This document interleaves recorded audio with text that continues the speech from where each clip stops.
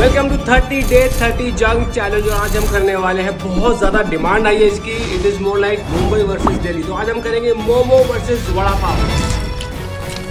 ये बहुत टेस्टी सही है। वड़ा पाव की जब हमने रीडिंग चेक करी तो एकदम नुकीली नौक और वैल्यू थी 155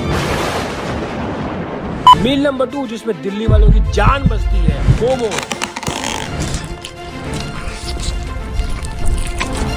मोमोज की रीडिंग चेक कर लेते हैं। सेंसर खराब हो गया क्या?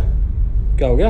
अरे मोमोज की रीडिंग तो बहुत कम गई ऋतु। अरे तो अभी ऊपर चढ़ रही है। शायद अभी और चढ़ेगी। थोड़ा वेट करना पड़ेगा। Sorry One hour later. अबे मोमो की तो गई नहीं ऊपर यार। देख रही मशी 120 गई मोमो की 155 वड़ा पाव की। भाई रीडिंग जान के तो हम हक्के बक्के रह गए और आप लोग भी सोच रहे हैं ऐसा हुआ कैसे? जी हाँ ऊपर मैदा होता है लेकिन अंदर उसमें वेजीज होती है। अगर आप किसी भी सिंपल कार्ब्स के साथ भी उसको वेजी सैलड के साथ मिक्स करेंगे तो वो स्पाइक को नीचे ले आता है। लेकिन वड़ा पाव में ब्रेड मैदा और अंदर आलू पूरा कार्ब्स था।